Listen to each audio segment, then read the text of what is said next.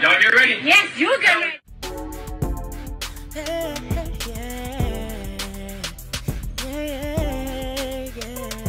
If you want the latest news in the streets, join us and tune in for the tea. Breaking news with integrity. So tell your friends and your family. It's the Lovely Tea TV show. Bringing you good tea and good vibes. It's the Lovely Tea TV show. Be sure to share, like, and subscribe. Hey, tea sippers. I hope you guys are doing good today. Happy new month. So, if you guys do not know, Chris Brown is back in the news, child. He is trending all over Twitter because he got very upset at a fan. So, this is what happened. If y'all don't know, Chris Brown was in Berlin on Wednesday. And he invited one lucky girl, honey, lucky quote unquote. Uh, he invited her up on stage for a lap dance for the entire audience to see, which is, you know, a bonus gesture from Chris Brown. So while Chris Brown is trying to dance on her and give her a lap dance, and his dancers are all on her and everything else, she proceeds to just keep looking in her phone. Can somebody please tell me what the fuck is going on? That's really what the fuck I want to know. What the fuck is going on? She's filming it. It's just really weird. It's like she's not even living in the moment. She's so focused on her phone. And they're just dancing around her and she's not really paying any attention. She's still holding onto her phone for dear life, you know, trying to, you know, record glimpses of this. And so after a while, Chris Brown gets so upset he ends up doing like the craziest, you know, jump move. He, he like jumps, grabs her phone, and just tosses it to the audience. And the still shot is everything. It's such a funny ass still shot. It looks like he's doing ballet, and you just see her phone just flying.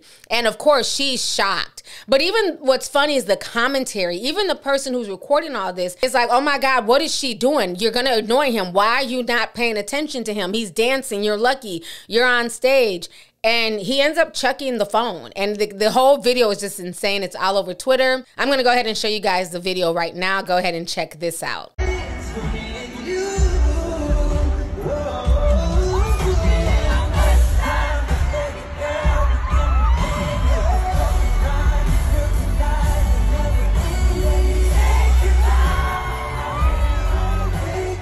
No, look, she's on the phone again. Nah, he's gonna get annoyed.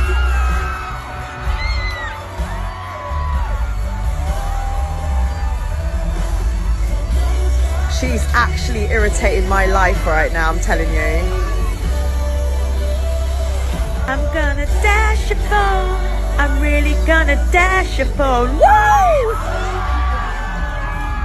She's annoyed.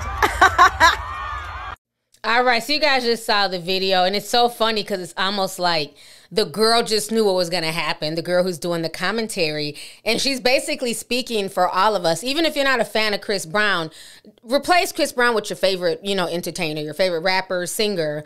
And this girl, you paid money for these tickets. You know these tickets aren't cheap, right? Y'all know the economy is slowly crashing. So you, you spent your money to go see Chris Brown, and on top of that, you were picked out of thousands of people to get up on stage and you're so narcissistic that you can't even put your phone down and live in the moment. And I think her behavior speaks to a lot of what we see in the culture. Not to get super deep, but it's the truth.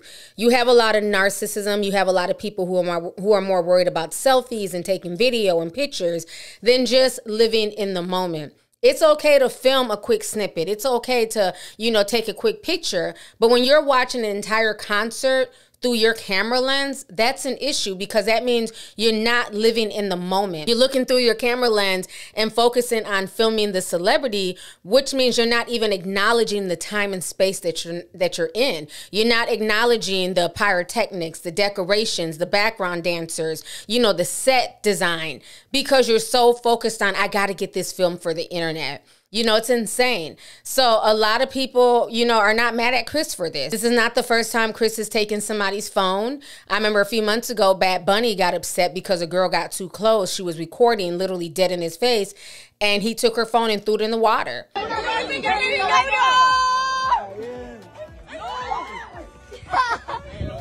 You know, DaBaby, that asshole, he punched a woman for being too close to him and recording him. So I think, you know, we need to get back to if we're going to go to concerts and going to go see these celebrities perform, we need to get back to really paying attention.